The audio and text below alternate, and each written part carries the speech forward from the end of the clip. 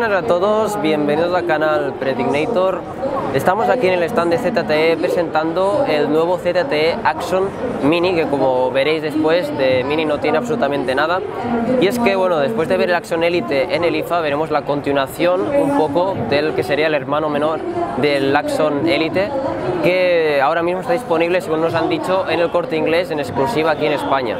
Pero que por ahora tiene bastante buena pinta y ahora veremos algunas especificaciones y además también el, el diseño un poco que veremos que es exactamente lo mismo que el Action pues ya tenemos aquí el Axon Mini, la versión exactamente premium, que es la que tenemos disponible en España. Y vamos a decir algunas características. Es un poco más pequeño que el Axon Elite, tenemos 5,2 pulgadas de resolución Full HD y con un procesador de Snapdragon 616 que está muy bien para el precio que tiene, que es de menor de 400 euros. Tenemos 3 GB de RAM con 32 GB de memoria interna, no ampliables eh, por micro SD, pero eso sí, eh, con 32 GB a mí me basta, pero habrá gente que lógicamente no, por lo tanto igual algunos lo ven demasiado corto. Después eh, vamos, tenemos que decir también que vendrá con Android Lollipop, a menos lo que ponen las especificaciones, no sabemos si eh,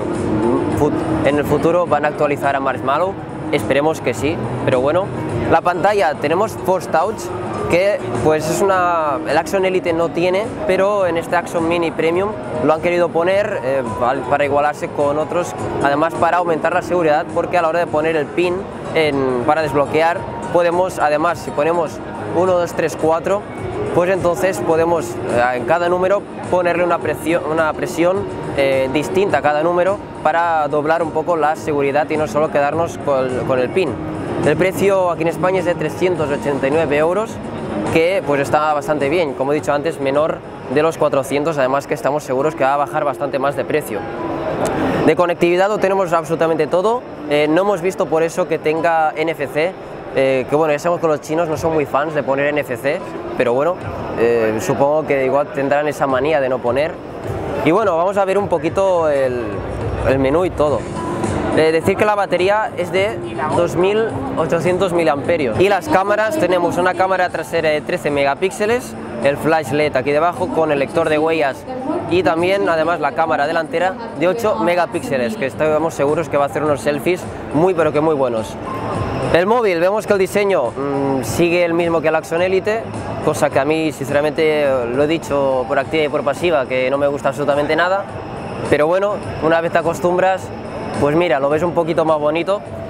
Y bueno, han continuado con este diseño, por algo será, tenemos aquí pues materiales totalmente premium, pero además pues tenemos aquí estos dos pegotes que son como plástico, aunque no lo parezca, pero sí, tenemos aquí puro plástico, pero bueno, que está bastante bien. La capa de personalización, eh, seguimos eh, sin box de aplicaciones, eh, con el diseño de ZTE también así en dorado, un poco extraño,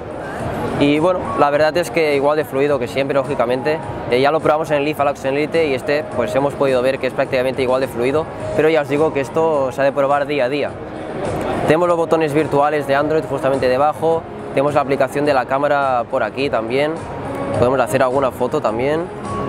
para ver qué tal dispara o para ver, a ver el enfoque, no enfoca nada, pero bueno. Ahí está. Tenemos cámara delantera.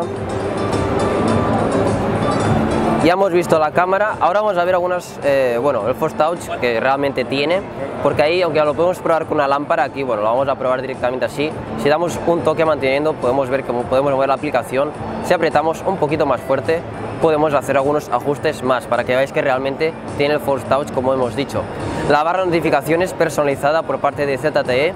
que bueno, eh, no va muy allá tampoco de la de Android, solamente cambia un poco el aspecto, pero bueno, que está bastante bien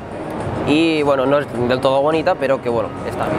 Y hemos terminado con esta ZTE, no podemos ver demasiado más porque esto ya se debe probar día a día, ver la autonomía, ver también la fluidez con todas las aplicaciones instaladas, la cámara igual, en estas condiciones, lógicamente nos sacará buenas fotos, pero hemos de ver en otras condiciones. Pero más que nada es para ver unas primeras impresiones y las especificaciones que tiene, que están bastante bien. Y más por 389 euros, disponible en el corte inglés solamente en exclusiva, al menos en España por ahora. Pero bueno, que estoy seguro que muchos eh, pues estarán deseando tener este ZTE, que bueno, eh, ya os digo, a mí personalmente no me gusta, como muy personal, pero bueno, eh, deseamos probarlo en un futuro. Así que bueno, espero que os haya gustado, nos vemos en el próximo vídeo, un saludo y hasta la próxima.